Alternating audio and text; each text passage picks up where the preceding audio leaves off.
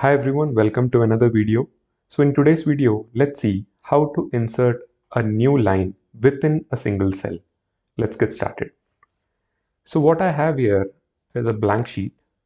Let me try to enter a couple of lines here. So I will say this is line 1.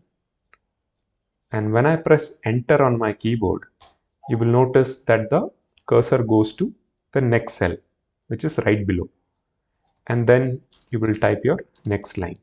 This is how it usually works in Excel. But in order to insert a new line within a particular cell, what you have to do is start typing your first line. So I will say this is line 1 and then on your keyboard press alt and enter key. And now you can see the cursor has gone just below the first line within the same cell and you can type the next line here. Press enter and you will notice that all of this is inside a single cell. One thing to note here is the moment you press alt enter and enter a new text, the wrap text is activated.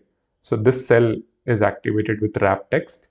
You can just elongate the length of the cell, the length of the column, so to say, and this will appear properly for you.